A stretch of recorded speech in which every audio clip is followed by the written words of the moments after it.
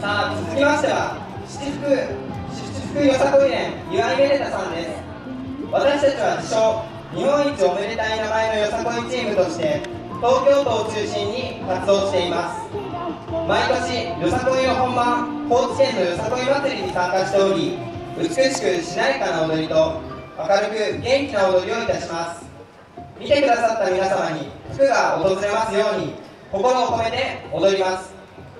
それでは七福よさこい連岩井めでたさん。よろしくお願いします。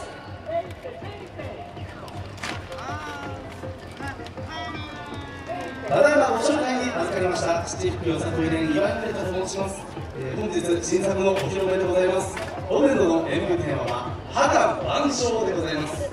辞書を引いても出てこないこの言葉もともとは「波乱一生」という言葉がしてこの「章」笑いは1じゃ足りないんじゃないかってことで101000万と足して波乱万象でございます。まあ、つまり人生何があってもくっしゃくしゃに笑って楽しくやっていこうじゃないかそんな作品でございます、えー、演舞中にはですね皆様と一緒に、えー参加していただいて、えー盛り上がっていくとございます。ぜひ一緒に声を出して笑って楽しんでいただければと思います。それでは心を込めて踊らせていただきます。ご声援お手拍子よろしくお願いします。